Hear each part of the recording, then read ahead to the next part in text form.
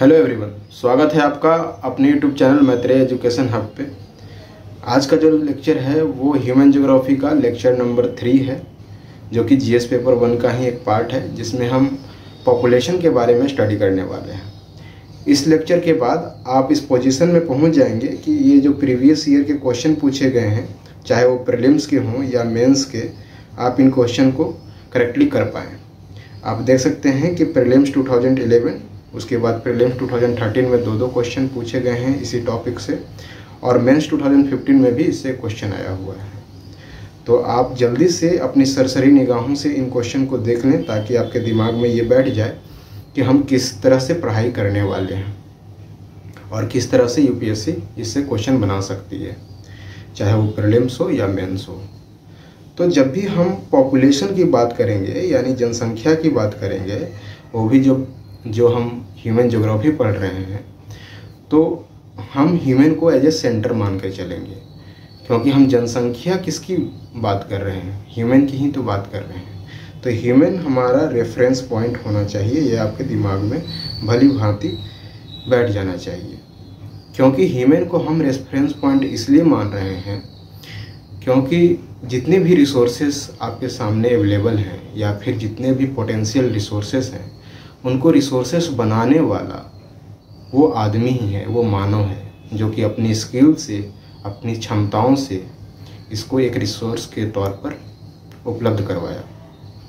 जो कोयला है, वो कोयला तब तक पत्थर ही था जब तक मानव ने उसे रिकॉग्नाइज नहीं किया और उसके एज ए फ्यूल यूज़ करने की पद्धति न खोज ली। उसी तरह से जो डायमंड है, कितना ज़्यादा बेसकीमती है ना लेकिन वो भी तो एक पत्थर ही है। तब तक वो पत्थर था जब तक मानव ने उसे अच्छी तरह से तराशा नहीं और एक वैल्यूएबल पदार्थ के रूप में उसे दुनिया के सामने पेश न किया।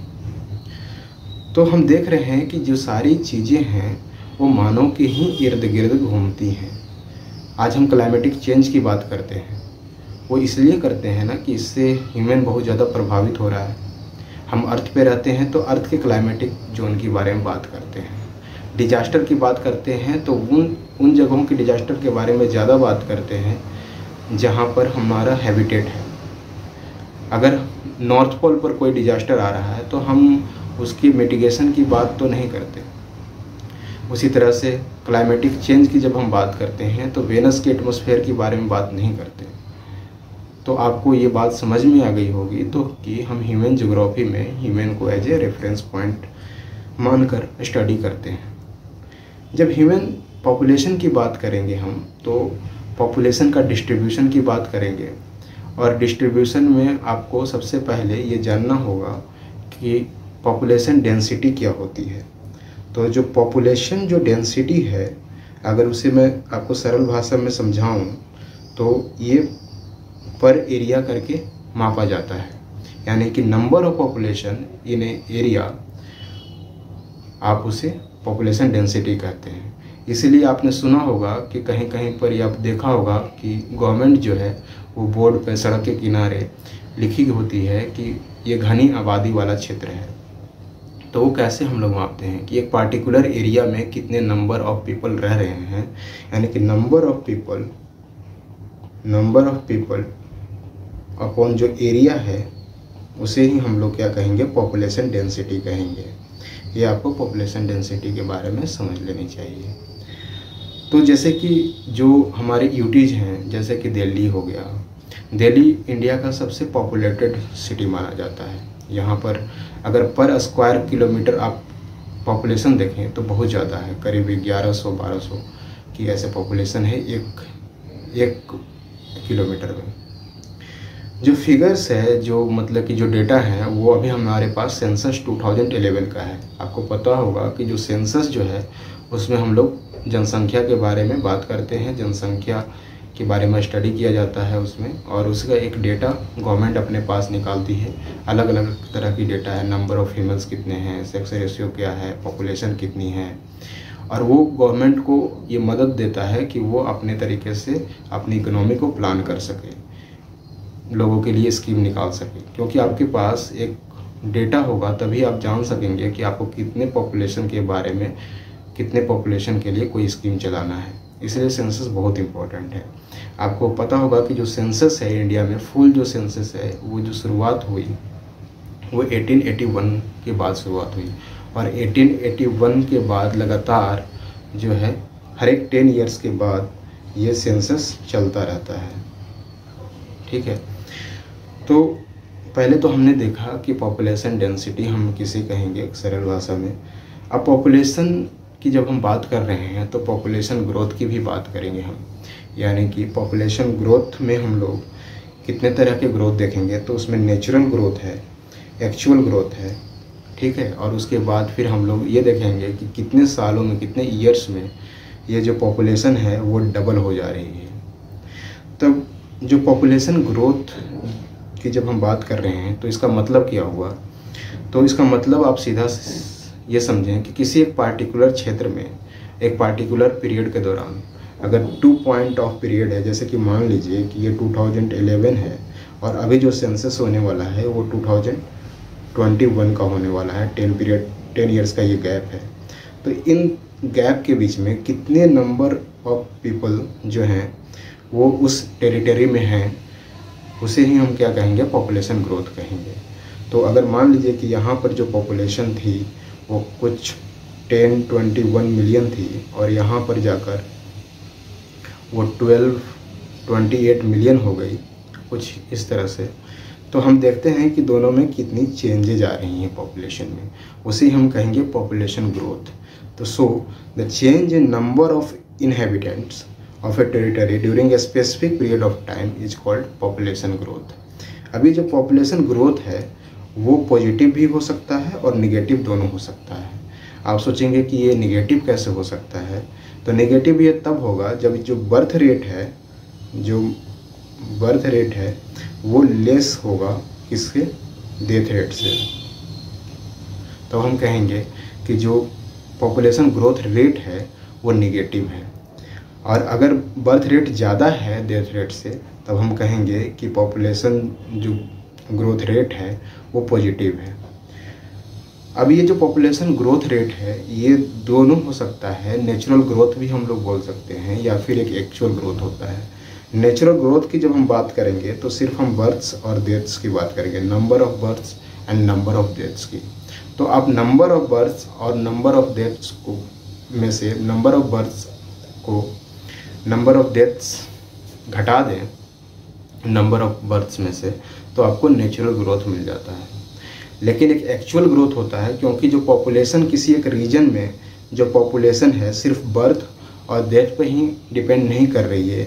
ये भी हो सकता है कि इस रीजन से किसी दूसरे रीजन में लोग पलायन करके यानी माइग्रेट करके चले गए हों, या फिर किसी तीसरे रीजन से इस रीजन में लोग कुछ आ गए हों। तो हम इसे जब कंसिडर करते हैं तो उसे हम बोलते हैं एक्चुअल ग्रोथ कि एक्चुअल में कितनी ग्रोथ हो रही है।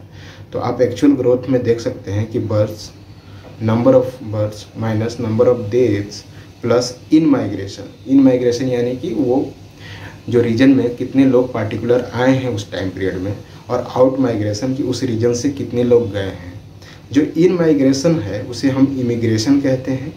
I double M I G R A T I O N इसे इमिग्रेशन कहा जाता है और आउट माइग्रेशन है कि उस क्षेत्र से लोग कितना बाहर जा रहे हैं, उसे एमिग्रेशन कहा जाता है, जो कि ई से शुरुआत होता है। तो आउट ऑफ़ आउट मतलब कि इमिग्रेशन और इन मतलब कि आई से शुरुआत होने वाला इमिग्रेशन इसमें आपको कंफ्यूज नहीं करना चाहिए, क्योंकि दोनों एक ही जैसा प्रोनाउंस होता है, इसलिए कन्फ्यूज़न ज़्यादा होता है। अब इससे रिलेटेड एक करंट अफेयर्स की न्यूज़ है कि जो कि आज जो है 27 जुलाई के हिंदू जो पेपर है, उसमें छपा है, जिसमें बात की गई है, एक बिल की बात की गई है, जो कि इंडियन गवर्नमेंट लेकर आती, आई है, जिसे कहें, जिसे बोला गया है कि इमिग्रेशन बिल 2020 21 इस बिल की बात करें तो आप ये देखें कि ये जो news that does not go far enough the new bill is better than the Immigration Act 1983 but more reforms are needed to protect Indian workers. इसमें जो बात की गई है एक्चुअली ये इसमें जो इमिग्रेशन बिल की बात की गई है, जो इमिग्रेशन बिल है, उसकी जो कानूनी जो पहलू है, उसे हम जीएस पेपर टू में देखेंगे लेकिन यहाँ पर हमें इमिग्रेशन बिल के बारे में ये जान लेनी चाहिए कि आखिर की 1983 में ऐसे क्या थे कि जिससे कि लोगों को दिक्कत होती थी और उसमें चेंजेस किए जा रहे हैं। तो आपको जो इमिग्रेशन बिल 1983 का था 1983 का जो इमिग्रेशन एक्ट था, उसमें क्या थे? बहुत सारी कमियाँ थी, जिस, जैसे कि डिस डिस्क्रिमिनेशन होता था। उसके बाद फिर दूसरा है कि पुअर लिवलीहुड जैसे कि क्या होता है ना कि आपने ये भी देखा होगा कि ब्रिटिश टाइम में जो अंग्रेज़ लोग थे, वो एज एजेंट उनको एज ए प्लांटेशन वर्कर यहाँ से लोगों को दूसरी जगह पर भेजते थे। उसी तरह से आज भी लोग जो हैं कि जो एजेंट्स हैं, वो क्या करते हैं वर्कर्स को हमारे कंट्री से दूसरे कंट्री यानी कि जैसे कि अरब देशों में और भी जो इंडस्ट्रियलिस्ट देश हैं वहाँ पर उनको काम करने के लिए भेजते हैं। उनको सैलरी के बारे में लुभा, लुभावनी सैलरी के बारे में बताया जाता है और वहाँ की लिविंग कंडीशन के बारे में बताया जाता है। लेकिन जब वहाँ पे पहुँचते हैं वो तो वहाँ पे उनको क्या मिलता है कि पुअर लिविंग कंडीशन है। उसके बाद फिर क्या है कि जो वेजेज हैं, उसमें डिस्क्रिमिनेशन है कि वहाँ के लोगों को ज़्यादा वेज दिया जा रहा है वही काम के लिए। लेकिन जो यहाँ से माइग्रेट करके गए हैं, उनको कम वेजेस दिए जा रहे हैं। तीसरी चीज़ है कि डिस्क्रिमिनेट किया जा रहा है डिस्क्रिमिनेशन हो रहा है as a as a birth place के तौर पर। तो ये सारी जो चीज़ें हैं इनके बारे में सरकार चिंतित है और वो बिल लेकर आई है, जिससे क्या होगा कि जो एजेंट्स यहाँ से माइग्रेंट्स को ले जा रहे हैं, उन पर एक लाइबिलिटी बनेगी, उनको एक कमेटी बनाया जाएगा, जिसमें अच्छी तरह से जाँच की जाएगी कि ये किस लिए ले जा रहे हैं और उन पर एक बाउंडेशन एक लाइबिलिटी एक रिस्पॉन्सिबिलिटी दी जाएगी। तो ये आप द हिंदू पेपर से पढ़ सकते हैं। इसका जो कानूनी वाला जो लीगल जो मैटर है, वो हम जीएस पेपर टू में पढ़ेंगे। तो हमने देखा कि जो एक्चुअल ग्रोथ है, उसमें हमने बर्थ की बात की डेथ्स की बात की और माइग्रेशन की बात की। तो हम सीधे बोल सकते हैं कि there are three components of population change जो पहला है वो बर्थ्स दूसरा है डेथ्स और तीसरा है माइग्रेशन जब हम बर्थ्स की बात कर रहे हैं तो हम बात करेंगे क्रूड क्रूड बर्थ रेट की, यानी कि सी की। क्रूड बर्थ रेट की बात की जाए तो हम ये कहेंगे कि number of live birth in a year per thousand population in a particular region कि जो नंबर ऑफ़ जीवित जितने बच्चे पैदा हुए हैं, एक हज़ार पॉपुलेशन पे, उसे हम लोग क्या कहेंगे? क्रूड बर्थ रेट कहेंगे। तो आप ये देख लें कि सी बी आर का जो हम फॉर्मूला लिखेंगे B I upon P into thousand जो बी आई है, ये डिनोट कर रहा है live birth during a year और जो पी जो डिनोट कर रहा है, वो पॉपुलेशन ऑफ़ द एरिया के बारे में डिनोट कर रहा है। और हम थाउज़ेंड से इसलिए मल्टीप्लाई कर रहे हैं क्योंकि हमें हर एक हज़ार पॉपुलेशन पर हम ये देख रहे हैं कि कितने नंबर ऑफ़ लाइव बर्थ जो शिशु पैदा हुआ है, जीवित शिशु पैदा हुआ है। दूसरी चीज़ है डेथ रेट यानी कि क्रूड डेथ रेट की बात। तो इसमें हम लोग लाइव नहीं बोलेंगे। लाइव का मतलब होता है जीवित। यहाँ पर हम सीधे बोलेंगे। Number of deaths in a particular year per thousand of population ठीक है? और इसका भी फॉर्मूला कुछ इस तरह हो जाएगा। जो आप डी डिनोट करता है नंबर ऑफ़ डेट्स और पी डिनोट करता है population of the particular area और इन टू थाउज़ेंड इसलिए कर रहे हैं अगेन क्योंकि हम लोग हर एक थाउज़ेंड पॉपुलेशन पर इसे निकाल रहे हैं। जब हमने माइग्रेशन की बात की थी अभी आपको तो हमने बिल के बारे में बात किया था और आपको बताया कि लोग वहाँ पर क्यों जाना चाहते हैं। तो देखिए माइग्रेशन का दो फैक्टर है। एक पुश फैक्टर होता है और दूसरा पुल फैक्टर होता है। पुश फैक्टर यानी कि जिस रीजन में है, वहाँ से एक पुश एक फैक्टर क्रिएट होता है और किस वजह से क्रिएट होता है, जिससे वो लोग उस जगह को छोड़ना चाहते हैं तो कुछ रीजन्स है उसका। जैसे कि पुअर लिविंग कंडीशन हो सकता है वो पार्टिकुलर रीजन का। या फिर अनएम्प्लॉयमेंट की कंडीशन है कि वहाँ पे उन्हें जॉब नहीं मिल रहा है, इसलिए वो दूसरे जगह पर जाना चाहते हैं, जहाँ पे जॉब अपॉर्चुनिटी अच्छी है। या फिर तीसरा रीज़न ये हो सकता है कि अनप्लीजेंट क्लाइमेट है। क्लाइमेट बहुत हार्श है वहाँ पर। और वो कुछ अच्छे क्लाइमेट्स के जाने चाहते हैं। जैसे कि आपने देखा कि जो कोस्टल एरिया है, वो काफ़ी डेंसली पॉपुलेटेड है। क्योंकि कोस्टल एरिया में एक्सट्रीम कंडीशन कभी नहीं आती क्लाइमेट्स की। इसी वजह से वहाँ पे लोग ज़्यादा रहना पसंद करते हैं। फिर जो जैसे कि नेचुरल डिजास्टर अगर कहीं पे ज़्यादा आ रहा है, जैसे कि बिहार में अगर हम बात कर लें तो कोशी नदी बिहार का शोक कहा जाता है। वहाँ पर कोसी नदी जो है अपनी रास्ता हमेशा चेंज करती रहती है, जिसके कारण लोग को अपने घर बार छोड़कर वहाँ से जाना पड़ता है और बहुत मुश्किलों का सामना करना पड़ता है, क्योंकि हर एक साल कोसी नदी के कारण बिहार में बाढ़ आती है।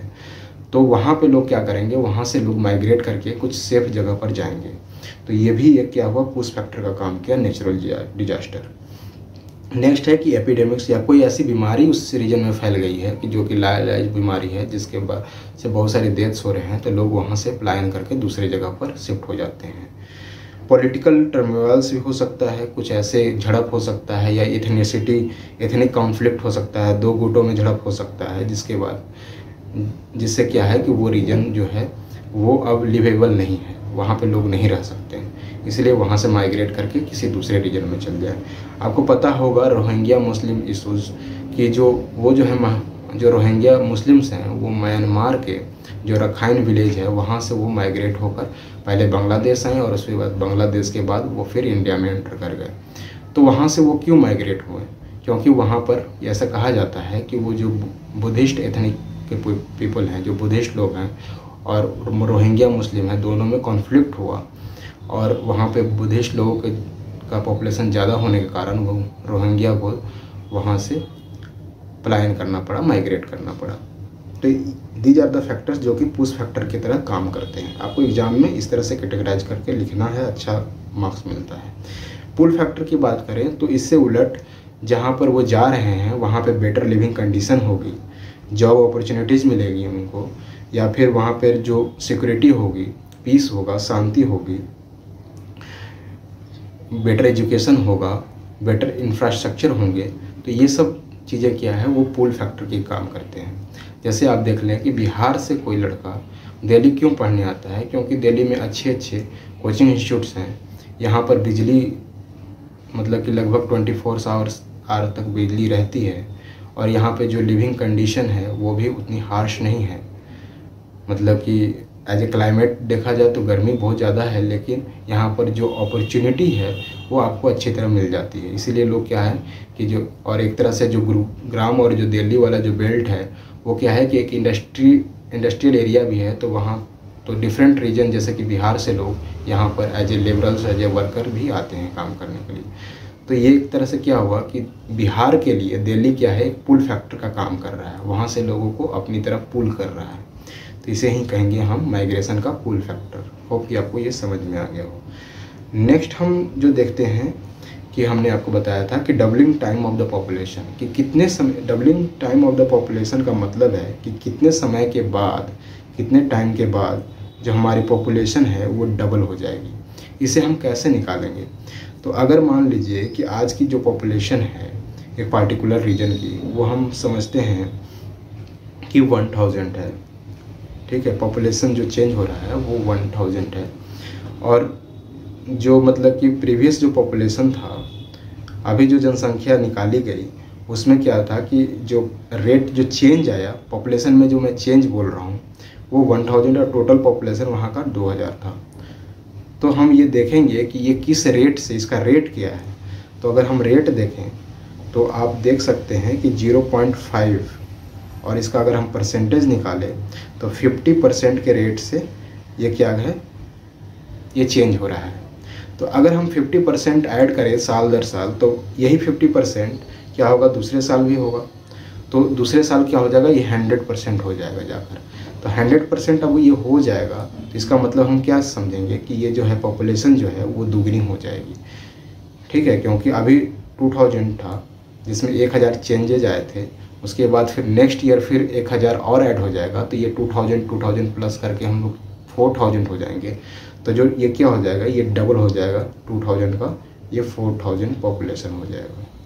तो ये हुआ कि दो साल में अगर इस रेट से चला जाए तो पॉपुलेशन दोगुनी हो जाएगी। अभी इंडिया की जो पॉपुलेशन ग्रोथ रेट है, वो 17.6 के लगभग है। 17.6 और 17.4 के लगभग है। अगर इस रेट से देखा जाए तो इंडिया की पॉपुलेशन कितने सालों में दोगुनी हो जाएगी, ये आप कैलकुलेट कर सकते हैं, जिस तरह से हमने कैलकुलेट किया। तो आप देखिए कि साल दर साल किस तरह से पॉपुलेशन क्या है कि डबल होता रहा। जो टेन थाउज़ेंड बी जो है, वहाँ पर पॉपुलेशन फाइव मिलियन था।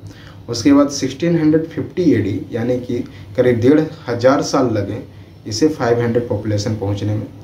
उसके बाद फिर 1804 एडी में ये हो गया, सीधे दोगुना हो गया 500 से 1000 मिलियन हो गया, और ये जो डबलिंग टाइम लगा 154 ईयर्स लगा। आप फिर देख रहे हैं कि धीरे धीरे क्या है, ये डबलिंग टाइम जो है, वो कम होता जा रहा है। 123 ईयर्स हो गया 40 47 ईयर्स हो गया। और नेक्स्ट जो है, पूरे वर्ल्ड पॉपुलेशन का जो डबलिंग जो रेट है, उसके हिसाब से जो पॉपुलेशन डबल हो जाएगा, जैसे कि फोर फोर थाउज़ेंड मिलियन से एट थाउज़ेंड मिलियन जो संभावना है होने की, वो है टू थाउज़ेंड ट्वेंटी फाइव में। तो जिससे क्या हो जाएगा? ये फिफ्टी वन ईयर्स में ये डबल हो जाएगा। ये एक्सपेक्टेड किया जा रहा है, ये एक्सपेक्टेशन है। तो आप देख रहे हैं कि धीरे धीरे जो डबलिंग ईयर जो है, वो कम होता जा रहा है। अब ये डबलिंग ईयर कम होता जा रहा है, यानी कि ट्रांजिशन आ रहा है। इस ट्रांजिशन को हम लोग जो स्टडी करते हैं, उसे हम लोग बोलते हैं demographic transition theory demographic transition theory हमें बताता है कि हम किस तरह से या कि इकोनॉमिकल कंडीशन भी बताता है कि जब हम एग्रीगेरियन जो ऑक्यूपेशन था उससे जब हम इंडस्ट्रियल ऑक्यूपेशन में गए तो किस तरह से पॉपुलेशन चेंजेज आए। तो हम इसे तीन स्टेज में डिवाइड कर सकते हैं। आप इसे ध्यान से समझिएगा। ये एग्ज़ाम में पूछे जाते हैं और आपको फ्री हैंड ही इसका जो ग्राफ है, इसे आपको फ्री हैंड ही बनाना चाहिए और कॉपी पर आप फ्री हैंड बनाएँगे और हमने भी यहाँ पे फ्री हैंड ही बनाया है। तो देखिए कि इसमें जो जो थ्योरी बोलती है, डेमोग्राफिक ट्रांजिशन की थ्योरी जो बोलती है, उसने क्या किया कि तीन स्टेज में डिवाइड किया। ये तीन स्टेज हैं, जो पहला स्टेज है, जहाँ पे क्या था कि जो ऑक्यूपेशन था, वो एग्रीग्रेरियन था, यानी कि लोग कृषि पर ज़्यादा डिपेंडेंट कर रहे थे। कृषि ही उनका मुख्य पेशा था। ये पूरे वर्ल्ड की बात की जा रही है। तो ये स्टेज वन था। स्टेज वन में क्या था कि बर्थ रेट भी बहुत ज़्यादा था क्रूड बर्थ रेट भी बहुत ज़्यादा था और डेथ रेट भी दोनों बहुत ज़्यादा था। बर्थ रेट इसलिए ज़्यादा था कि लोग ज़्यादा से ज़्यादा इंसान जो बच्चे पैदा करते थे, वो इसलिए करते थे क्योंकि जो ऑक्यूपेशन उनका था, वो खेती का था और खेती माना जाता है कि वो जितने हेल्पिंग हैंड्स होंगे, उतनी ज़्यादा उसके लिए अच्छी बात है। लोग ज़्यादा काम कर पाएँगे, ज़्यादा खेती कर पाएँगे, ज़्यादा लोगों की ज़रूरत होती है, क्योंकि agriculture is a labour intensive sector तो इसीलिए ज़्यादा से ज़्यादा लोग बच्चे पैदा करते थे। और देर रेट इसलिए ज़्यादा थी क्योंकि उस समय विज्ञान इतना तरक्की नहीं कर पाया था, जिससे क्या होता था कि जो बीमारियाँ हैं, उससे लड़ नहीं पाते थे लोग, उसके लिए कोई टीका नहीं था, वैक्सीनेशन नहीं था और उतनी दवाइयाँ नहीं थी जिससे वो अपनी रक्षा कर सके, इसलिए डेथ रेट भी बहुत ज़्यादा था। फिर जब नेक्स्ट स्टेज में हम लोग इंटर करते हैं तो धीरे धीरे हम लोग क्या कर, देखते हैं कि जो बर्थ रेट और डेथ रेट में दोनों में धीरे धीरे आप देखिए कि डिक्लाइन होते जा रहा है। लेकिन स्टार्टिंग में जो क्या है कि जो बर्थ रेट है, वो हाई ही रहा, लेकिन डेथ रेट क्या है कि डिक्रीज होने लगा। जो बर्थ रेट हाई तो ये ये जो आप पीरियड बोलेंगे, जिसमें क्या था कि बर्थ रेट तो बर्थ रेट तो हाई ही रहा, लेकिन डेथ रेट में डिक्लाइन आया। वो डिक्लाइन इसलिए आया क्योंकि इंडस्ट्रियल रेवोल्यूशन हो आई, और इसी टाइम पे बहुत सारे मेडिकल्स में खोज किए गए। और आपको पता है वैक्सीनेशन आया और पेनिसिलिन जैसे टैबलेट्स आए, जिससे क्या है कि मलेरिया पर कंट्रोल पाया गया चिकन पॉक्स का वैक्सीन निकल निकल गया। तो इस तरह से क्या है कि डेथ पे हम लोग कंट्रोल करने लगे और लाइफ स्पैन लोगों की बढ़ने लगी। लोग जवानी में, यानी यंग एज में ही उनकी डेथ नहीं होने लगी और उसे प्रिवेंट किया गया। तो टेक्निक मेडिकली एडवांस होने के कारण हमारी डेथ रेट तो डिक्रीज हो गई, लेकिन बर्थ रेट हमारी अभी ज़्यादा ही थी। लेकिन जब थर्ड स्टेज में जब आएँगे, जब जो पॉपुलेशन है वो अर्बन इंडस्ट्रियल फ़ेज़ में पहुँच जाएगा और वो एग्रीगेरियन जो ऑक्यूपेशन है, वो पूरी तरह से ट्रांजिशन हो गया किसमें? इंडस्ट्रियल ऑक्यूपेशन में। तो क्या है कि इंडस्ट्री जो है, वो टेक्नोलॉजीज़ पर वर्क करती है। लोग ज़्यादा एजुकेटेड भी हुए एजुकेशन भी आया लोगों में और लोग फैमिली प्लानिंग करने लगे। फैमिली प्लानिंग करने लगे लोग। और जिसके कारण क्या होगा? हो गया कि जो इस ये वाली जो स्टेज है, जिसमें बर्थ रेट भी डिक्लाइन किया। बर्थ रेट भी डिक्लाइन किया और डेथ रेट भी इसमें डिक्लाइन तो ऑलरेडी हो रहा था टेक्नोलॉजी के कारण। और इसमें क्या है कि low birth rate and low death rate तो आपको ये ट्रांजिशन पता चल गया होगा कि स्टेज वन में स्टेज टू में स्टेज थ्री में किस तरह से हमने आगे बढ़ा। पहले जो स्टेज था उसमें death and birth rate was बहुत हाई सेकेंड स्टेज में बर्थ रेट हुआ हाई लेकिन डेथ रेट कम हुआ लो हुआ। लेकिन जो थर्ड स्टेज है, दोनों, उसमें birth rate and death rate दोनों लो हुआ। ठीक है, इससे जो रिलेटेड आप ये देखिए कि जो हमने स्टार्टिंग में आपको क्वेश्चन बताया था, जो यूपीएससी में पूछा गया है प्रीलिम्स 2013 में consider the following stages of the demographic transition associated with the economic development इसमें दिया है, पहला low birth rate with the low death rate second है option high birth rate with the high death rate third option है high birth rate with the low death rate तो इसमें क्या है कि आपको select the correct order of the above stages using the code इसमें क्या है? ऑर्डर पूछा है कि किस ऑर्डर में है ये। तो आपको अभी हमने देखा कि किस तरह से ट्रांजिशन हुआ। तो सबसे पहले क्या था कि high birth rate with the high death rate यानी कि सेकेंड वाला पहले होगा। यानी कि ये ए और डी को हम एलिमिनेट कर सकते हैं। बी एंड सी में से ही कोई हमारा आंसर है। अब उसके बाद सेकेंड के बाद क्या था कि जब जो बर्थ रेट है वो हाई ही रहा, लेकिन डेथ रेट है वो लो लो हो गया। तो यानी कि सेकेंड के बाद थ्री आएगा। यानी कि हमारा ऑप्शन नंबर सी यहाँ पर सही हो जाता। तो इस तरह से आप क्वेश्चन कर सकते हैं और हमने ये डेमोग्राफिक ट्रांजिशन देखा। जो नेक्स्ट हम देखते हैं वो है पॉपुलेशन कंपोजिशन पॉपुलेशन कंपोजिशन में हम क्या क्या पढ़ेंगे? कि सेक्स कंपोजिशन के बारे में बात करेंगे एज स्ट्रक्चर के बारे में बात करेंगे और ऑक्यूपेशन के बारे में बात करेंगे डिफरेंट एज के ग्रुप डिफरेंट रीजन में कौन कौन से ऑक्यूपेशन अपनाए जाते हैं, या डिफरेंट एज ग्रुप क्या है, और उन एज ग्रुप को हम किस तरह से देख सकते हैं कि जैसे वर्किंग एज ग्रुप है डिपेंडेबल एज ग्रुप कौन सा कहा जाता है डेमोग्राफिक डिविडेंड क्या होता है, इसके बारे में हम देखेंगे। जो आज हम पॉपुलेशन कंपोजिशन में देख रहे हैं, वो है सेक्स कंपोजिशन कि सेक्स कंपोजिशन क्या आपको बताता है कि किसी पार्टिकुलर एरिया में किसी पार्टिकुलर पॉपुलेशन में कितने फीमेल्स हैं और कितने मेल्स हैं। उसके बाद जब हम सेक्स रेशियो के बारे में बात करते हैं तो हम जो इंडिया में है, वो हम देखते हैं कि प्रति हज़ार पुरुषों के पुरुषों के एवज में, यानी कि पुरुषों की तुलना में कितने नंबर ऑफ़ फीमेल्स हैं। तो हम बोल सकते हैं सेक्स रेशियो के बारे में कि number of female population per thousand male population is called sex ratio ये हमारे इंडिया में इस तरह से मापा जाता है। जब हम फॉरेन की बात करते हैं तो वहाँ पर नंबर ऑफ़ मेल पॉपुलेशन देखा जाता है, किसके तुलना में? नंबर ऑफ़ फीमेल के तुलना में। तो ये हमने देखा। इसी से रिलेटेड इकोनॉमिक सर्वे 2018 में एक बात कही गई थी मेटा सन प्रेफरेंस आपको तो पता है कि हमारी जो सोसाइटी है, वो पेट्रियार्की सोसाइटी है, और इसमें जो है पुरुषों की भूमिका ज़्यादा देखी जाती है। और उनको ज़्यादा प्रेफरेंस दिया जाता है महिलाओं के बनस्पत में। इसीलिए क्या है कि हमारी जो सेक्स रेशियो है, बहुत सारे राज्यों में सेक्स रेशियो बहुत ही कम है। जैसे कि हरियाणा के क्षेत्र में आप देखिए तो वहाँ पे हज़ार पुरुषों के एवज में बहुत ही कम आठ आठ सौ के आसपास कुछ आप ये डेटा आप देख लेंगे। तो इतनी कम है कि हज़ार पुरुषों पर सिर्फ़ साढ़े आठ सौ तक वहाँ पे फीमेल्स हैं। इसी के इसी कारण से जो गवर्नमेंट है हमारी, वो बेटी बचाओ, बेटी पढ़ाओ योजना लेकर आती है। और उस एक अभियान की तरह, तरीके से चलाया जाता है इस योजना को। और इकोनॉमिक सर्वे 2018 में बात की गई कि मेटा सन प्रेफरेंस की। मेटा सन प्रेफरेंस का मतलब क्या है, ये हम समझ लेते हैं, क्योंकि एक जो टर्मोलॉजी है कभी कभी आपके एग्ज़ाम्स में पूछे जाते हैं कि मेटा सन प्रेफरेंस का मतलब क्या हुआ।